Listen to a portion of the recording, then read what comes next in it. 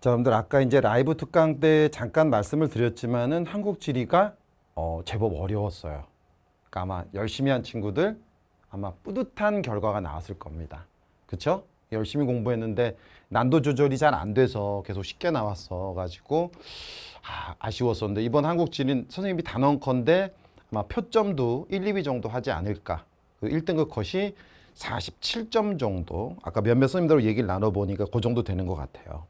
그리고 오늘 정말 중요한 얘기는 아까 라이브에 얘기했듯이 선생님이 누누이 얘기하고 있습니다만 올해는 지리 교수님이나 선생님들께서 지리 과목이 더 이상은 너무 쉽게 출제돼서 이제 1등급이 막 우리 잘 아는 11%를 넘어가서 그렇죠? 그런 일이 벌어지지 않도록 어, 심혈을 기울여 계시다. 그러니까 우리 올해는 꼭 우리 열심히 한 친구들 축복받을 수 있도록 선생님도 더 많이 기도하고 노력하겠습니다. 이번 한국지리는 6번 어 이거 꼼꼼히 있는 거 감조 그 구간이죠. 수익 문제 나왔던 거. 10번 그렇죠. 15번 19번 특히 19번이 많이 어려웠죠. 물론 이제 답을 찾는 데는 크게 지장이 없었는데 근데 이제 아까 말씀드렸듯이 모르면 패스를 하라니까. 이게 모른 패스하면 또 답이 나왔어요. 들어가 보겠습니다. 자, 동해 드디어 나왔네요. 동해. 한반도, 러시아, 일본으로 둘러싸인 바다다. 최 최동단인 요건 동해죠, 동해. 자, 동단이니까는 요건 이제 독도가 되겠죠. 독도. 항상 나오면 요런 문제 나오면 이제 구조적 정리를 할 겸 해 가지고 이제 33에서 우리나라는 43. 요거 다 그죠? 124에서 약 132에 걸쳐 있어. 독도가 이제 131도 52분이지만 자 거의 132도죠. 이 섬과 가장 가까운 섬이니까 요거는 이제 여러분 잘 아는 울릉도가 될 겁니다. 그 다음에 최남단이니까 마라도고요.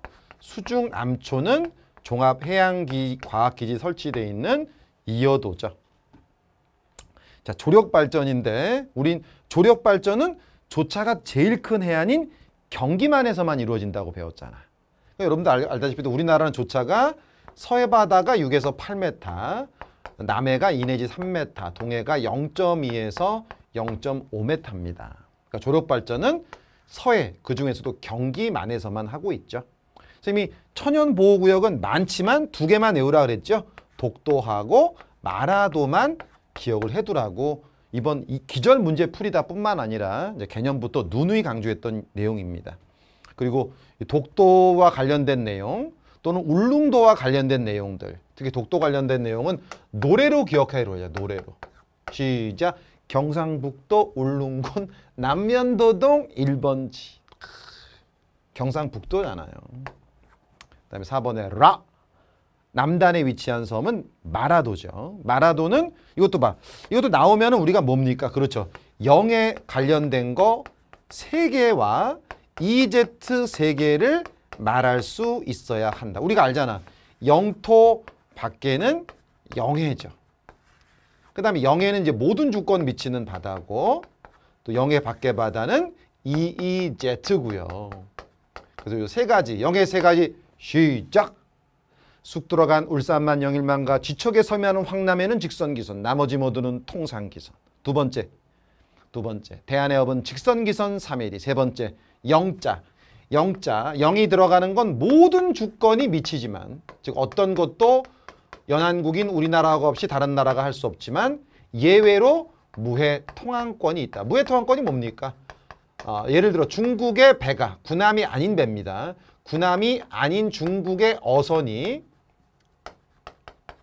물고기를 잡지 않는 이상 또는 이제 뭐 하여튼 우리나라에 해가 되지 않는 이상은 우리나라 허가 없이 영해를 지나갈 수가 있어요. 지나만 갈 수 있습니다.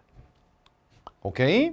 그러니까 자기가 요런 요런 구조 속에서 항상 항상 내용은 구조 속에서 그다음에 이제 영해를 주장하는 기선도 어, 두 개라 그러잖아. 직선 기선과 통상 기선이 있다. 통상적 기선이 바로 해안선인데 해안선은 어떤 밀물대도 있고 썰물대도 있으니까 법률 용어로는 최저 조위선이다.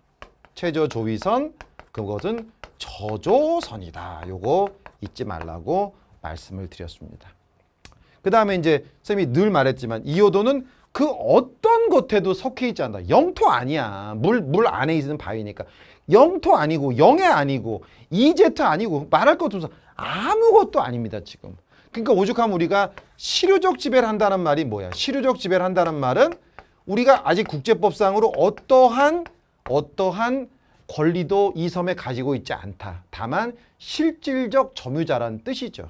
그러니까 실효적 지배라는 말에서 아직 국제법상 우리의 영토, 영공, 영해, EEZ 그 어떤 것도 아닙니다. 한일 중간 수역, 한중 잠정 조치도 어떤 것도 아니다. 팩트만 기억하라 그랬잖아. 이어도는 32도에 있다는 팩트. 수중 암초라는 팩트. 종합 해양 과학 기지라는 팩트. 요것만 기억하시면 됩니다. 그러니까 이것도 여러분들이 내 얘기를 듣고서 니, 내가 이어도 그랬을 때 어떤 것도 속하지 않는다 이게 떠오르는지 그걸 보셔야 돼. 지금은 그거 그 단계의 학습입니다. 떠오르는지를 확인하는 거야. 선생님 얘기 듣고 아 참 그랬지. 그러면 안 되는 거예요. 오케이? 어.